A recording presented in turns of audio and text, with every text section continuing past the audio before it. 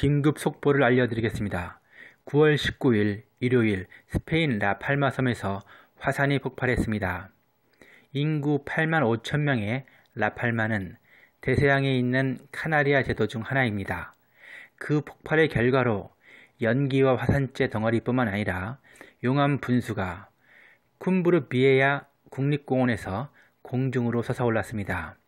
폭발 전 규모 3.8의 지진이 기록돼 지표면에서 지진에 의한 진동이 감지됐습니다.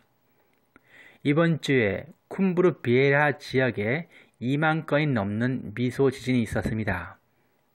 지역 주민들은 대피 명령을 받고 대피 중에 있습니다. 라팔마 섬의 쿰브르 비에라 화산이 폭발하게 되면 섬의 한쪽이 해안으로 떨어져 나가 침몰할 수 있고 엄청난 쓰나미를 일으킬 수 있으며 대서양을 건너 미국의 동부를 강타하게 될 수 있습니다.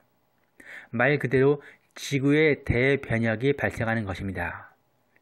라팔마 섬은 해저층의 해저 화산에 의한 열기둥의 작용으로 융기된 섬인데 현재 라팔마 섬의 절반이 점차 갈라지고 있는 상황이고 섬 자체가 이미 화산인 라팔마가 대폭발을 하게 되면 아주 강력한 폭발력과 함께 섬이 갈라질 수밖에 없을 수 있습니다.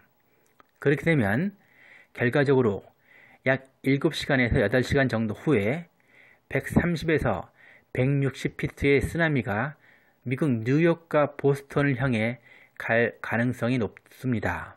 시청해 주셔서 감사드리겠습니다. 구독과 좋아요, 알람 설정을 꼭 부탁드리겠습니다. 이 채널을 운영하는데 큰 힘이 됩니다. 감사드립니다.